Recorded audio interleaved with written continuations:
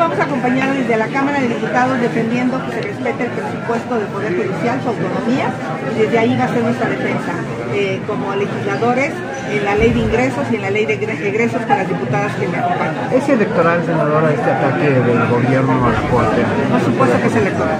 Por supuesto que es tratar de decirle a los mexicanos y fomentar el odio.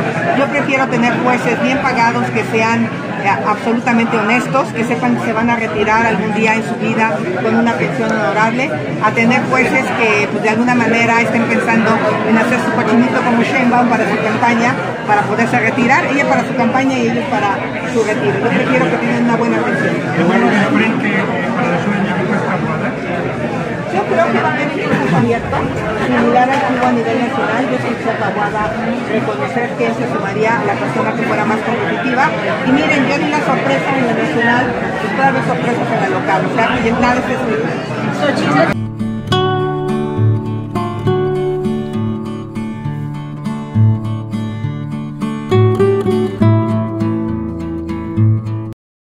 Hoy así amanecieron las oficinas del Poder Judicial con esta manta gigante. Ministros corruptos vendepatrias están despedidos atentamente su patrón el pueblo. Este es lo que dice la manta. Hay que recordar que Norma Piña y el líder sindical de los 56 mil trabajadores convocaron a un paro nacional de dos días, además a una manifestación en la cual no tuvo resultado, solamente acudieron como 10, como 100 personas, donde quemaron la figura del presidente. Hoy el pueblo de México nos queda el consuelo que por lo menos estos dos días no van a soltar a delincuentes, no van a amparar a delincuentes, no van a descongelar cuentas a delincuentes. Hoy los más, los más enojados seguramente son los delincuentes porque no va a salir ninguno en estos dos días. Amigos y amigas, esto es lo que está pasando con la Norma Piña, la ministra. Amigos, vamos a ir a un video de Xochitl Galvez para que veamos lo que anda diciendo y que hoy lo está negando, que hoy sí está con el pueblo. Que no se nos olvide que Acción Nacional votó en contra de los programas sociales votó en contra de las becas a los jóvenes construyendo el futuro. Votaron en contra de los apoyos a los estudiantes. Votaron en contra de los apoyos a los señores de la tercera edad. Pero hoy dice que no es cierto, que ella no, que siempre ha estado con el pueblo. Vamos a recordarle este video para que la señora no nos siga mintiendo al pueblo de México. Algo que aprendí de mi abuelo es ganar tu comida trabajando. Y creo que lo que tenemos que hacer, lo que tenemos que hacer es que estos apoyos sean temporales, darles habilidades, darles educación, certificación laboral, competencias laborales, generar fuentes de empleos para que la gente pueda salir adelante. De verdad que el mayor acto de dignidad de un ser humano es eso, poder ganar su comida trabajando pues mira, se me acerca mucha gente y me dice, yo quiero trabajar contigo, pero pues obviamente pues, lo que me piden es un salario. ¿Yo de dónde les pago? No, voluntarios. Pues, pues sí, la gente tiene que vivir de algo también. Entonces hay quien, hay quien sí puede darse el lujo de decir... En mis ratos es libres. mis ratos libres, yo te ayudo, pero también mucha gente pues lo que está buscando es un trabajo. Y ahorita yo no tengo un presupuesto este, para pagarle a la gente un, un salario. Y hay gente que se ha venido, ¿eh?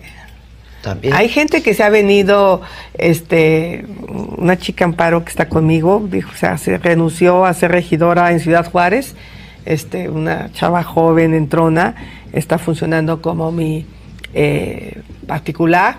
Pues ella dijo, tengo mis ahorros y puedo aguantar 10 meses de irme eh, contigo.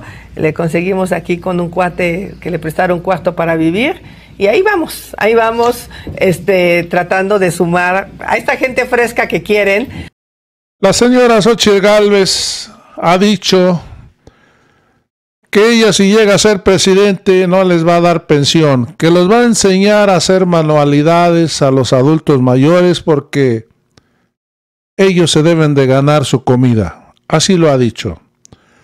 Además, la señora dice que no puede dar empleos que porque no tiene dinero.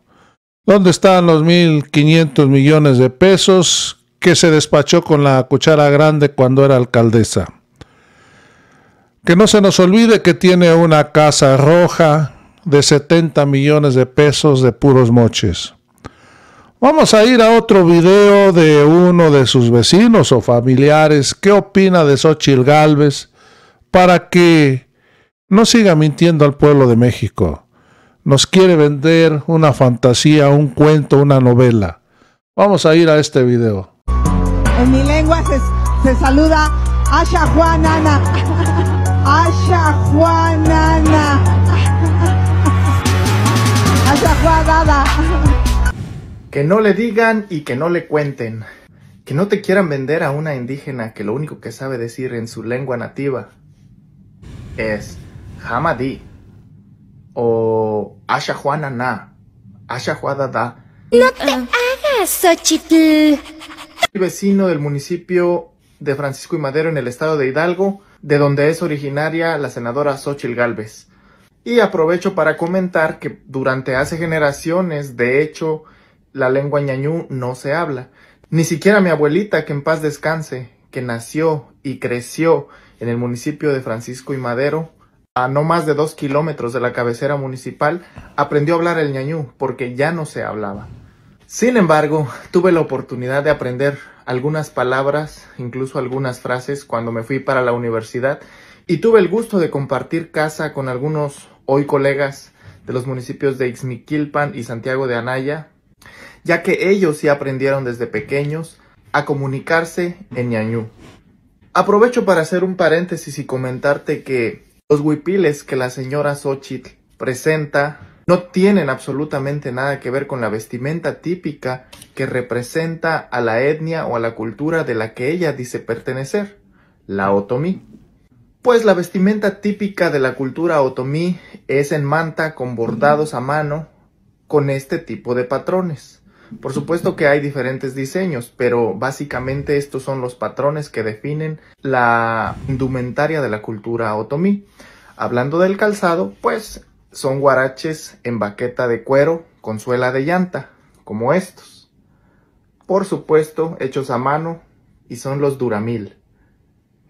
Cabe mencionar, pues ya es más que sabido que la señora Xochitl compra sus huipiles o su vestimenta a marcas extranjeras a precios elevados y que contribuyen a una problemática grave que es la apropiación cultural, de la cual los artesanos son víctimas y nunca reciben absolutamente ningún beneficio. Cierro paréntesis, así es que si un día tú nos visitas en el estado de Hidalgo, específicamente en el Valle del Mezquital o en el corredor de balnearios que está sobre la carretera México-Laredo a la altura del municipio de Ixmiquilpan, pues aquí te dejo unas frases para que puedas comunicarte un poco o puedas entender un poco de lo que la gente nativa habla. A mí me encanta la comida y mi frase favorita, la primera que aprendí fue ¿A dónde está la sal? Shibera uh, shibera uh. Si te das cuenta, el ñaño es un poco nasal. Shibra, uh, nasal. Y de hecho no espero que mi pronunciación sea perfecta, es una lengua muy difícil. Ahora que si tienes una hermana bonita, te van a decir ko, que significa cuñado. Si vas pasando y escuchas que la gente murmura shanzo, pues te están diciendo que estás feo o fea. Pero espérate, que si los escuchas decir shaño, significa todo lo contrario. Quieren decir que eres de buen ver, bonita o guapo. Si hablas de una persona indeseable o simplemente de una persona que mencionas muchísimo, te van a decir rinshoin, que significa tu viejo. Si eres de buen comer y no se te da el ejercicio, posiblemente los escucharás decir ha narandota muy, que significa está gordo o está muy panzón. Ahora que si empiezas a decirles cosas que no les parecen o les ofenden, te dirán, cotiriné, ¿qué te importa? Si les preguntas algo y no saben la respuesta, van a decir, hadifa, no lo sé o no sé. Si algo o alguien está por caerse, los escucharás decir, Madadagi, Madadagi, se va a caer, se va a caer. Y ya por último, si vas caminando y escuchas a alguien decir, Shokiriwa, corre y cuéntaselo a quien más confianza le tengas. A pesar de no tener la dicha de ser un indígena puro 100%, ya que soy mestizo, siempre que puedo porto con mucho orgullo esta vestimenta que me identifica como hidalguense específicamente del Valle del Mezquital con la cultura otomí que un día albergó en el municipio de Francisco y Madero también. Y me llena de felicidad y orgullo poderle enseñar este tipo de cultura a mis hijos para no perder nuestras raíces ya que uno pertenece precisamente a donde uno dejó raíces. Saludos y bendiciones. Ahora vamos a recordar este video de Xochitl Galvez. Vamos a escucharlo. Vamos a acompañar desde la Cámara de Diputados defendiendo que se respete el presupuesto del Poder Judicial, su autonomía, y desde ahí va a ser nuestra defensa. Eh, como legisladores, en la ley de ingresos y en la ley de egresos para las diputadas que me acompañan. ¿Es electoral, senadora, este ataque del gobierno a la Corte? Por supuesto que es electoral. Por supuesto que es tratar de decirle a los mexicanos y fomentar el odio. Yo prefiero tener jueces bien pagados que sean eh, absolutamente honestos, que sepan que se van a retirar algún día en su vida con una pensión honorable, a tener jueces que pues, de alguna manera estén pensando en hacer su cochinito como Sheinbaum para su campaña, para poderse retirar, ella para su campaña y ellos para su retiro. Yo prefiero que tengan una buena pensión. Yo creo que va a haber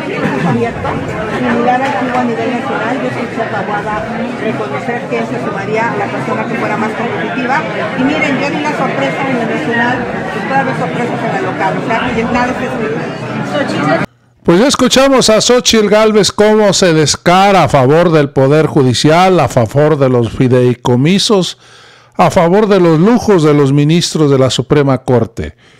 Y es que hay que recordar, yo siempre lo he dicho, que el Poder Judicial se ha convertido en el brazo político del PRI y el PAN.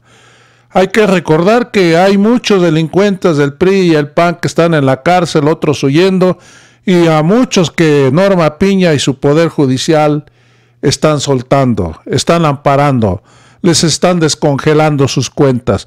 Por eso, hoy la candidata del Frente Amplio está a favor del Poder Judicial. Amigos, si te gustó el video, suscríbete a este canal y nos vemos en el próximo video.